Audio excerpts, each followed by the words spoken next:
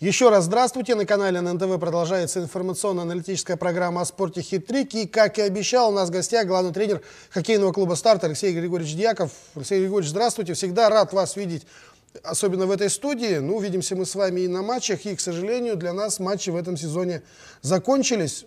Понятно, что вы по ходу сезона вернулись в команду, но, тем не менее, итоги подводить вам. Итак, вот он сезон, десятое место старта – Хорошо, плохо, двойка, тройка, четверка. Какую оценку поставим команде? Во-первых, здравствуйте, очень приятно обратно здесь находиться. Но действительно заняли десятое место. Задача, которая ставилась перед командой, перед сезоном, это попасть в плей-офф, значит, э, попасть в восьмерку сильнейших. К сожалению, задача была не выполнена. А, хочу, э, пользуясь случаем, извиниться перед болельщиками.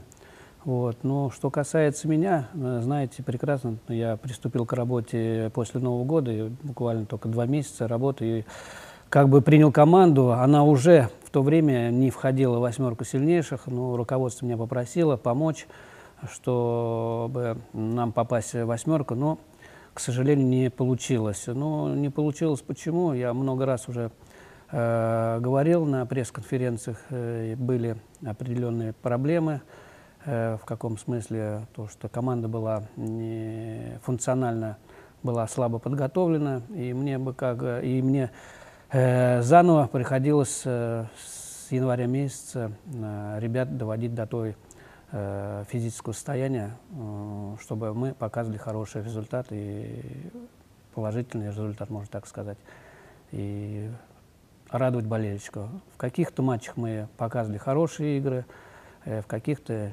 невыразительные. Но получилось так, как получилось. Ну, если вспоминать э, сезон, ту часть, которая прошла под вашим руководством, а какой-то из матчей можете выделить, когда ну, там вы в раздевалку пришли и просто парням руки пожали? Ну, из домашних матчей могу сказать, что мы все игры домашние сыграли на хорошем уровне, где, хотя мы проиграли «Динамо Москва» в один мяч, но мы играли неплохо. А, здесь могу выделить э, ну, победную игру это с командой э, Уральский трубник Первоуральск, где мы по ходу игр проигрывали, и, к сожалению, не к сожалению, а к счастью нашему. Ну, к сожалению, для Первоуральска, да? да, для, для Первоуральска. Э, где мы победили. В этой игре я был очень доволен, и ребят поблагодарил. Вот, и потом у нас игра была дома с Кировым, победили э, Родину 4-1. Ну, вот последняя игра, которую мы завершили сезон у нас дома э, с Ульяновского Вола, конечно, игра была невыразительная, мы проиграли 0-2. Ну, не могу сказать, э, не хочу сказать, что мы играли плохо, играли хорошо, но, можно сказать, игра неиспользованных моментов. А, ну, в этом году в Суперлиге решили обойтись без утешительных турниров. Соответственно, все, для старта окончательно сезон закончился. Я так понимаю, из команды только вы сейчас в Нижнем остались, да? Все разъехались? Нет, почему? Не только я. Все, я просто сейчас, э, мы дали неделю э, вот, так, вот эти праздники, дали ребятам отдохнуть, а уже с понедельника, с 12 числа мы приступаем опять к работе и будем тренироваться. Погода позволяет, будем тренироваться. И надеюсь, что на следующей неделе приедут э, новые игроки, где мы будем их просматривать. На данный момент сейчас ведется полная ну, селекционная работа. Ведем селекционную а, работу. Насчет новых игроков, да, вот мы с вами еще перед записью программы успели переговорить. Секреты страшные, тайны страшные. Очень интересно, интрига. И вот как раз приедут игроки на просмотр. Это пройдет, вы выставите трехметровый забор вокруг площадки, чтобы никто ничего не увидел, или это в открытом будет доступе? Да нет, конечно, ни, ни от кого не, не будем ничего скрывать. Э, приедут ребята, просто с нами потренироваться.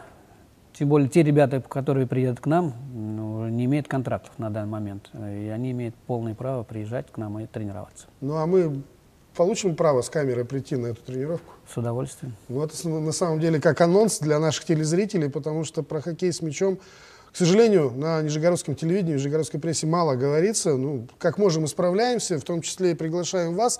И, соответственно, хоть что-то можно открыть тайну следующего сезона. Э, я так понимаю, карты в руки вам руководство клуба дало, и вы будете формировать команду. Ну, не только я, у нас есть руководство, есть у нас спортивный директор, где мы будем вместе как бы заниматься селекционной работой. Но никакой здесь тайны не будет. Э, я думаю, то, что команда на 50% э, изменится.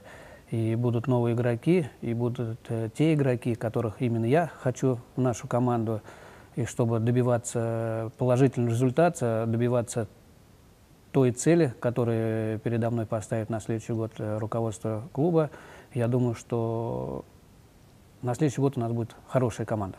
Ну, хоть какую-нибудь фамилию сможете назвать. Ну, чтобы, опять же, чтобы наших болельщиков, чтобы сердце аж забилось чаще. Нет, ну давайте потерпим до апреля месяца. Невозможно. Нет, Потому что по регламенту э, не имеем права до 31 этого марта э, как бы говорить именно те имена, которые к нам придут на следующий год наша команда. Ну, с другой стороны, ладно, мне хороший сюрприз. Я как раз выхожу из отпуска 31 марта, и сразу же хлоп, и мне новые, новые имена, надеюсь, новые старые даже имена.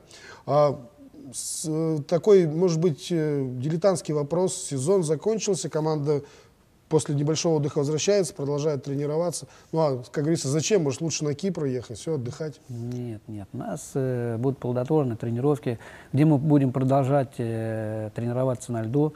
Погода позволяет, я еще раз э, э повторю. Э, потом мы перейдем в зал. Ну, а отпуск у нас только в июне месяце. А в выходные на стадионе «Труд» э, пройдет ну, традиционное завершение сезона областного а, финала чемпионата области, если я не ошибаюсь, сразу в нескольких возрастах. Традиционно мы раньше любили наблюдать за игрой команды ветераны старта, возглавляем Алексеем Григорьевичем Дьяковым. В эти выходные мы увидим Григорьевича на коньках? Я думаю, да. Приходите, болейте за нас, за наших ветеранов. Я думаю, что у меня будет дебют, можно сказать, в этом году. Ну как дебют?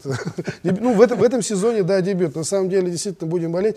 А мы выходим в эфир 8 марта в такой замечательный день, и я позволю себе такую вольность назвать вас ну, таким знатным ловеласом. Все-таки вы пользуетесь популярностью у женщин. Ответьте им взаимностью, может быть, какие-то поздравления нашим болельщицам.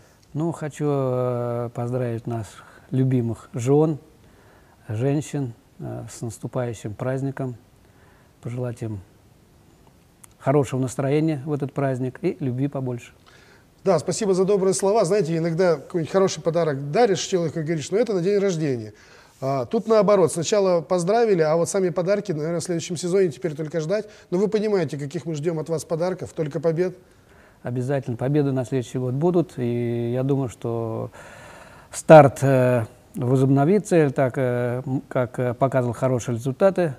Я думаю, что мы болельщиков на следующий год не подведем. Как же хочется верить, как же хочется вернуть те, те славные времена старта, эти заполненные трибуны и самое главное победы нашей команды. Хотя даже не столько победы, сколько чтобы к нам опять боялись приезжать. Неважно, потому что знали под стартом, они умрут и долго будут потом отходить от этого матча. Все правильно сказали. Самое главное терпение, а победа наша впереди. Ждем. Ну что ж, Алексей Григорьевич, огромное спасибо, что нашли время. Надеюсь, действительно увидимся уже в ближайшие выходные с вами на стадионе Труд. Э, я же прощаюсь с нашими болельщиками ровно на неделю. Говорю вам пока-пока и традиционно в конце передачи. Не забывайте дружить со спортом.